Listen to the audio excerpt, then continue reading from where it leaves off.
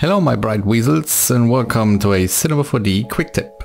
Today I would like to talk about a very underrated tool hidden within Cinema 4D. And it is the lighting tool. It's I do have it as a shortcut here on my in my panels, but you will find it under create light lighting tool. Not sure why it's under create, but um, okay. But this tool is underrated because it just speeds up the way you set um, speculars, in, in my opinion. It, it, it, does have a lot of modes, so if you click on it, there is the um, specular placement, diffuse placement, surface, trackball. Trackball is the um, default mode it is in, but all I use it for is actually specular placement. So if you put this on specular placement and right now my scene has no light in it. So let's create a new one. Let's push this outside a little bit. And let's say I would like this light to be a specular uh, somewhere here on Bumblebee's chest. Doing this manually is like rotating and uh, using a target object and then just scooping it over and see whenever it's, it's at the right place.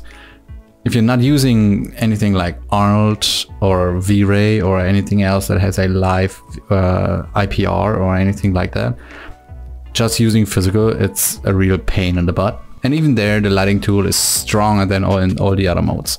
Since you don't have a live preview, you always have to guess and then re-render. So let's grab the lighting tool. I have it on specular placement. Let's click our light and then you just say wherever you want your specular be at. So let's say I want it up here. I just click, there jumps the light. I hit render, boom, there's my specular. It's that easy and it's that fast. Let's take another one. I just copy and paste it, click the new light and let's say I want my specular right down there. Jump, click. You might want to re-rotate it so it's actually facing the right direction and everything.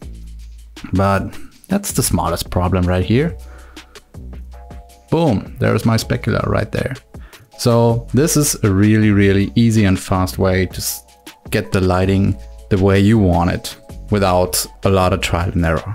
But this gets even better because the lighting tool is also working in Octane and Arnold. So there's our Octane scene, there's our Octane light, there's my lighting tool, specular, and let's say, since the fist is in focus, we want, we want it right there.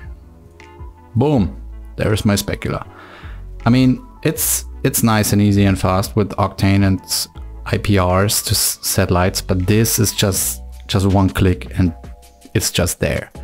So doing doing the lights you wanted or creating a lighting the way you wanted it and hitting the right speculars is just a easy click away. Bam, there it is. Done, I call this done. Let's render this out. The only downside of this tool is that it's not working with Redshift lights, which is kind of awkward because, I mean, Redshift belongs to Maxon and Cinema 4D, so I don't know why this is not working. But maybe they add this feature in the near future. I mean, come on, one click lighting. What else you want? If you like this quick tip, hit like and subscribe, and I hope I see you next time. Stay smart.